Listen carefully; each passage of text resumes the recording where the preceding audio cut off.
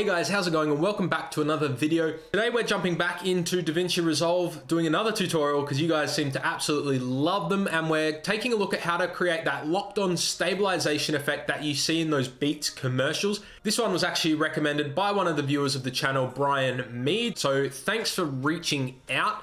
Again, if there is anything you guys want to learn specifically in DaVinci Resolve, please leave comments in the videos. I do my very best to bring them to you because I feel like there's no point me just bringing useless videos out. I want to actually bring value to you guys, even if it means only one person values from it. So Brian, thanks for reaching out. This one's for you. So the effect I'm talking about is when basically you track an object in the frame and then you stabilize the clip around that object. It's a very creative technique to draw attention to specific objects in the scene. That's why they use it in the Beats commercials. It draws your attention to the Beats headphones and it's a pretty artsy way to do it. And best of all, it's really easy to actually accomplish. So let's just jump into DaVinci Resolve.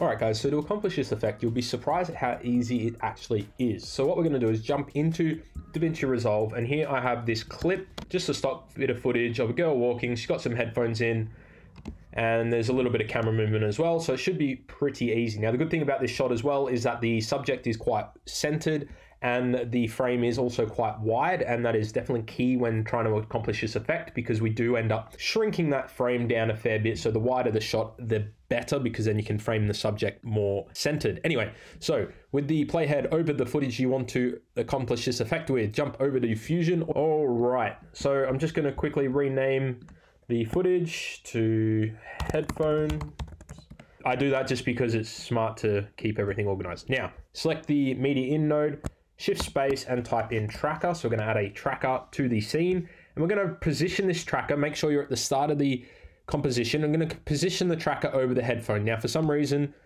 DaVinci Resolve is glitching on me at the moment, so I'm going to use the window over in the inspector to position my tracker, and I'm just going to position it more or less centered on the AirPod there, and just resize it to include the whole AirPod in the frame, and just resize that like so scroll up and track forward. All right, so now that that's finished tracking, we want to head on over to the inspector in the tracker, go to the operations menu, and this is what we generally do when we use a tracker anyway, and change it to match move.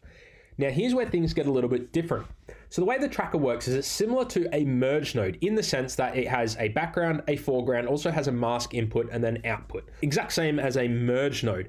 And you can see here under the operation, we have the function of how it works as a merge node. Currently it's set to foreground over background. What that means is anything plugged into the foreground, so the green arrow of the tracker, will utilize the operation of the tracker. If we were to say drag a text node down and plug it into the foreground, and type something,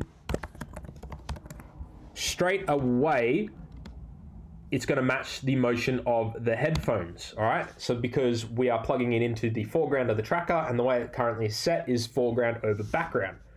But you'll notice it's a drop down box. And if we drop that down, we can change it. So we can do foreground only, background only, background over foreground. If we do background only, anything plugged into the yellow triangle, so the input or the background, will match the movement of the tracker. Now, currently the footage is plugged into the background. So naturally, if we go background only, all of a sudden, if we click off and we hit play, now the footage, although it looks a little bit weird at the moment, it is following the movement of the tracker.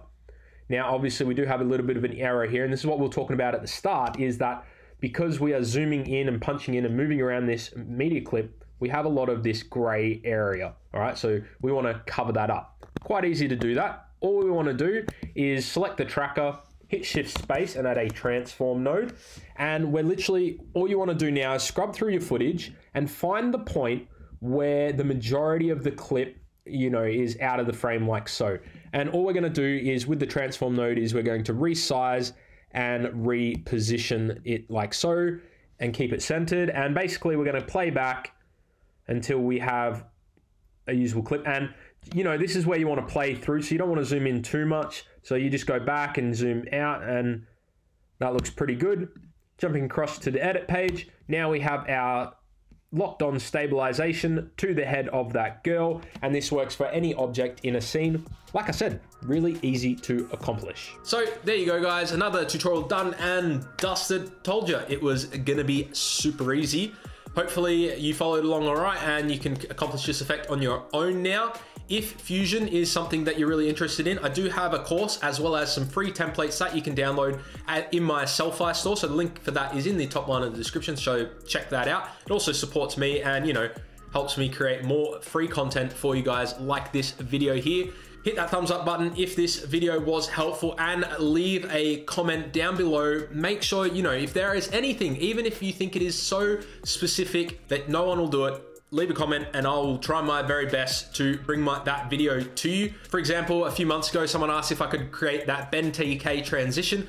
Only one person asked me to make that video and I went out of my way and I made that video specifically for that person and a lot of you guys really enjoyed it and that's the goal here with this channel is to bring value to you guys specifically. So reach out, contact me. Hey, if you don't want to drop a comment, you can DM me on Instagram and you know, I have been known to just answer questions like that. So, you know, do that as well. We will have a few more videos dropping this week. One of them is going to be a bit more on organization, creating folders in DaVinci Resolve so you can organize your templates and all that sort of stuff. So subscribe if you want to see videos like that. And until next one, guys, see ya.